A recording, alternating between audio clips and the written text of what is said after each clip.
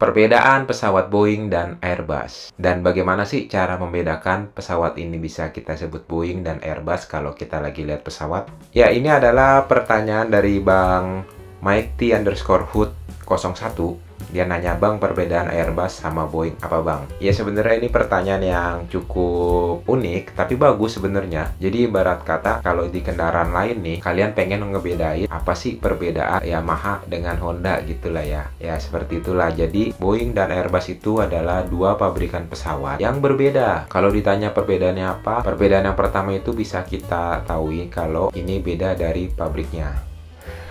Pabriknya gimana? Ya, yang satu Boeing dari Amerika, yang satu lagi Airbus itu dari Eropa. Nah, kita udah tahu nih, pabriknya udah berbeda nih ya. Terus perbedaan apa lagi? Kalau misalnya seandainya kita lagi mau terbang atau lihat pesawat, kita bisa tahu ini pesawat Boeing atau ini pesawat Airbus. Sebelum lebih jauh, kalian like dulu video ini dan juga di save. Takutnya nanti nggak sengaja ke scroll tuh TikToknya ke refresh, jadi hilang deh videonya yang ini. Oke, kalau udah di like sama di save, kita lanjut lagi. Gimana sih caranya ngebedain kalau ini tuh pesawat Airbus loh, ini tuh pesawat Boeing loh. Jadi kita bisa ngasih tahu teman kita kan di jalanan gitu ceritanya. Oke, yang pertama kalau dari eksteriornya kita bisa nilai dari jendela pesawatnya bukan yang bagian badan tapi yang bagian depan bagian kokpit ya windshieldnya itu kalian bisa bedakan bagian windshield di mana Airbus itu dia tidak begitu runcing di bagian belakangnya. Ini gue tampilin fotonya ya kayak gini perbedaannya. Sedangkan yang Boeing itu dia agak cenderung lebih lancip ke bawah gitu loh. Bisa dilihat di gambar yang ini. Terus perbedaan selanjutnya itu ada di moncongnya moncong hidungnya hidung pesawat. Yang satu ini Airbus itu hidungnya lebih ke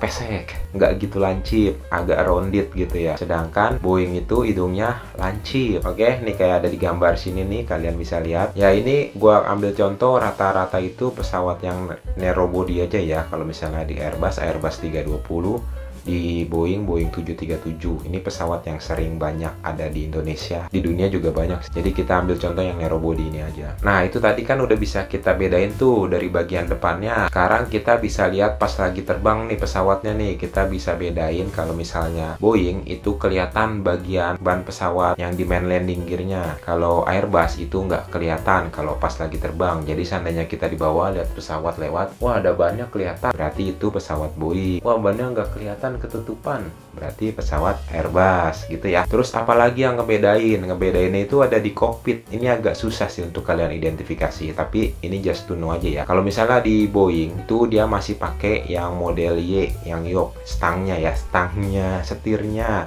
Setir pesawat itu kayak model stang gitu loh. Sedangkan kalau Airbus itu pakainya yang joystick cuman satu doang kayak di di apa namanya permainan time zone yang kalau main pesawat-pesawat gitulah. Nah gitu adanya di sisi kirinya Captain.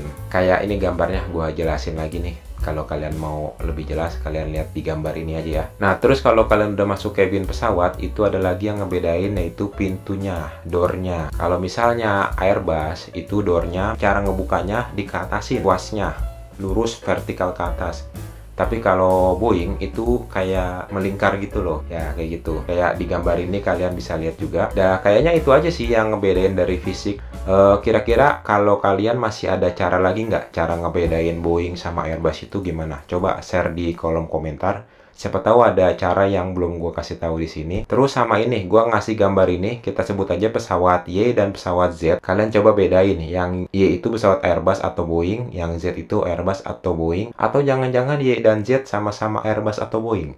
Tulis di kolom komentar ya.